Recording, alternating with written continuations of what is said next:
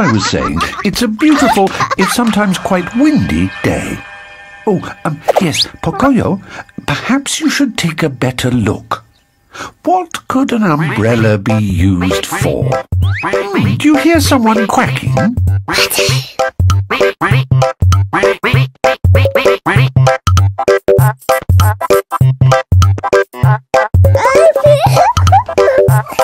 Kite.